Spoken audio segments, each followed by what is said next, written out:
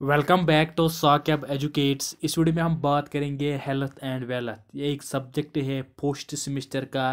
तो यहाँ पे हम देखेंगे गेस्ट पेपर सो यहाँ पे मैंने लिखा है हंड्रेड परसेंट जेनवन क्वेश्चन देखिए, ये मोस्ट इंपॉर्टेंट क्वेश्चन है। वीडियो को एंड तक देखना। मैं एक एक क्वेश्चन पढ़ूँगा ताकि आपको आसानी हो जाएँगे ये क्वेश्चन ढूँढने में किसी स्टडी मटेरियल पे नोट्स पे। अगर आपके पास इन क्वेश्चंस का आंसर नहीं है अगर आपके पास आंसर नहीं है मैं आपको वीडियो में आगे वो भी बताऊँगा आपको ये आंसर्स कहाँ पे मिल जाएँगे। सो so, वीडियो को एंड तक देखना इसी तरह से देखना। यहाँ पे आप पढ़ सकते हो हेल्थ एंड वेलर गेस्ट पेपर यहाँ पे मैंने यही भी लिखा है fifteen most important question fifteen question काफ़ी मैस्यू है मेरे हिसाब से। सो so, यहाँ पे आप पढ़ सकते हो first question what is over nutrition question number two what is anxiety question number three what is depression देखिए कुछ जो क्वेश्चन होते हैं उनकी प्रोनाउंसिएशन आपकी कुछ और होगी मेरी कुछ और होगी सो आपको वो कंप्रोमाइज़ करना है आपको वो ज़्यादा सीरियस नहीं लेना है।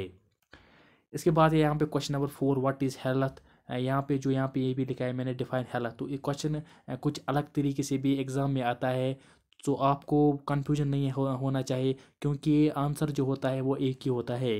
Write a short note on stress what is balanced diet and what is over nutrition या sedentary lifestyle sedentary lifestyle simply ये होता है कि जो ज़्यादातर गर्मी रहता है, ज़्यादा उसकी लाइफ स्टाइल फ़िज़िकल एक्टिविटी ज़्यादा वो नहीं करता है, ये आपको पता ही होगा, या आपने पढ़ा ही होगा। सो ये थी शॉर्ट आंसर क्वेश्चन अब देखते हैं हम long answer question question number nine यहाँ पे आप पढ़ सकते हो discuss some common diseases which affect our body system काफ़ी सिंपल क्वेश्चन है, इसको आपको अपनी लैंग्वेज में एक सिंपल सा आंसर देना है। अपनी लैंग्वेज में लिखने से आपको ज़्यादा मार्क्स मिल जाता है। Question number ten, discuss some important factors affecting mental health. Very important question जो मेंटल हेल्थ के रिलेटेड आपके एग्ज़ाम में क्वेश्चन आता ही है। इसके बाद question number eleven what is diet and nutrition for health and wellness? Health and wellness के लिए क्या डाइट होनी चाहिए, क्या न्यूट्रिशन है? मेरे हिसाब से ये एक इजी क्वेश्चन है, लेकिन मोस्ट स्टूडेंट्स नहीं लिख पाते फिर बाद में एग्ज़ाम में।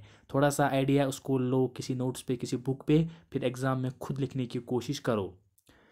क्वेश्चन नंबर ट्वेल्व यहाँ पे आप पढ़ सकते हो discuss some healthy foods for prevention and progression of hypertension काफ़ी ऐसे ईजी क्वेश्चन है, लेकिन इसको इसको आपको डिटेल में पढ़ना है काफ़ी अच्छी तरह से।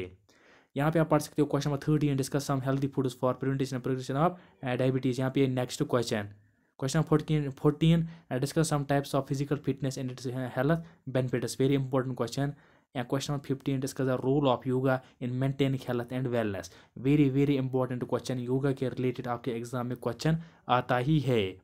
सो उनकी आंसर्स आपको सिंपली इंटरनेट पे मिल जाएँगे। जो शॉर्ट आंसर क्वेश्चन है, उनके आंसर्स आपको मिल जाएँगे वहाँ पे आराम से बीस या तीस वर्ड्स में। लेकिन लॉन्ग आंसर क्वेश्चन वहाँ पे आपको डिटेल में मिल जाएँगे। सो आप वहाँ पे आराम से ये अपनी लैंग्वेज में समझ सकते हो। फिर एग्ज़ाम में आप ये खुद लिख सकते हो अपनी लैंग्वेज में, जिससे आपको मार्क्स ज़्यादा मिल जाता है। सो वीडियो को ज़्यादा से ज़्यादा शेयर करना ताकि बाकी स्टूडेंट के पास भी पूछेगा। अगर आप किसी और सब्जेक्ट पर चाहते हो गेस्ट पेपर नीचे मुझे कमेंट सेक्शन में ज़रूर लिखना। सो इसी नोट के साथ वीडियो का एंड मिलती है किसी नेक्स्ट वीडियो में. तब तक के लिए टेक केयर